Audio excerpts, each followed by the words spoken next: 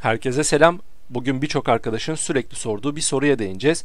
O da PC bileşenlerinin fiyatları düşer mi sorusu. Ekran kartları ve RAM'ler başta olmak üzere fiyatlarda inanılmaz bir artış oldu son 1,5 senede. E, durum böyle olunca PC toplamakta elbette çok zor olmaya başladı. Fiyatlar iner diye bekledik. Üretici firmaların en ufak bir açıklamasından fiyat indirimiyle alakalı bir şeyler yakalamaya çalıştık. Maalesef fiyatlar ineceğine her geçen gün azar azar zamlar gelmeye devam etti. Bundan bir, bir buçuk ay kadar önce şimdi PC toplanır mı diye bir video yapmıştık. O videoda fiyatların yüksek olduğundan bahsetmiştik.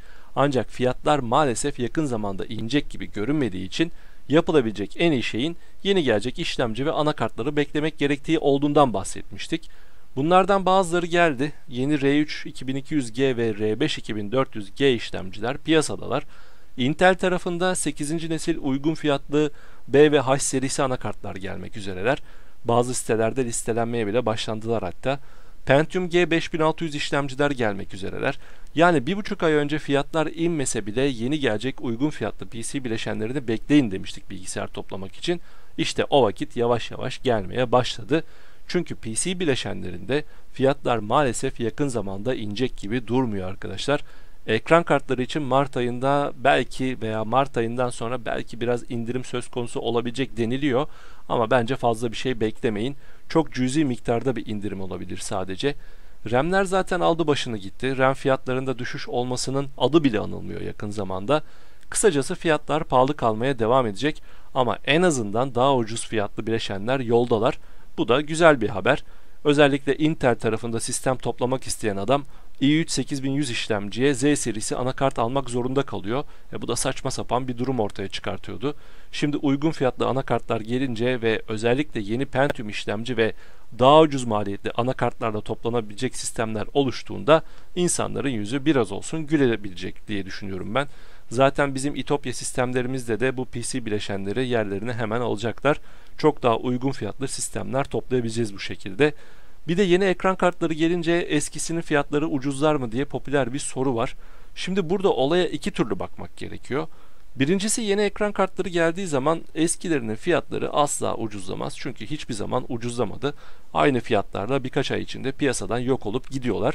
O yüzden böyle bir beklenti olmasın derim.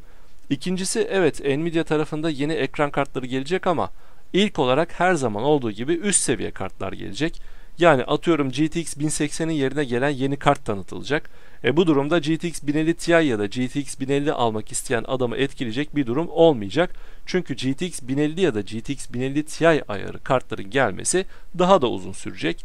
Mart ayında daha en az 6-7 ay yeni seri ekran kartını beklemek bence çok mantıklı bir olay değil o yüzden. Ha şu olur. Ben R3 2200G ya da R5 2400G alıp onun GPU'su ile idare edeceğim. Yeni seri kartlar gelince de onlardan alacağım dersen evet o işlemcilerin GPU'su ile idare edebileceksen bu düşünce oldukça mantıklı olabilir. Ama yok ben PC toplamayacağım. Yeni seri orta seviye kartlar ne zaman gelir ben o zaman toplarım diye düşünüyorsan bence o kadar uzun bir süre beklemek ve bu süre içinde bilgisayarsız kalmak bana çok mantıklı gelmiyor bir şekilde PC alınır geçilir. O gelecek bu gelecek diye ömür geçirmenin de pek bir anlamı yok. Çünkü bir buçuk ay önce söyledik. Yeni anakart ve işlemcilerin gelmesine bu kadar kısa süre kalmışken onları bekleyin dedik. Onlar da gelmeye başladılar. Bazılarıyla PC toplama rehberlerini bile yaptık. Yeni Pentium işlemciler ve uygun fiyatlı anakartlar için de çok az bir süre kaldı. AMD tarafında ise yeni R7 işlemcilerin eli kulağında. Yani PC toplamak için çok fazla beklenecek bir durum kalmadı bileşenler açısından. Bilgisayar toplamak isteyenler bence hazırlıklarını yapsınlar. Fiyatlar böyle seyir etmeye devam edecek ama dediğimiz gibi en azından uygun fiyatlı bileşenler bir nebze olsun yüzümüzü güldürebilecek. Bir de benim anlam veremediğim başka bir olay var. Evet fiyatlar pahalı. Tamam bunu hepimiz kabul ediyoruz. Ama garibime giden şey şu oluyor. Özellikle çevremde bu tiplerden çok var. Mesela 3500-4000 TL aralığında bir bilgisayar topluyoruz. Bilgisayara bu para verilir mi ne kadar pahalı falan diyenler oluyor. Ancak bakıyorsun bunu diyen adamın telefonuna elinde iPhone 8 var.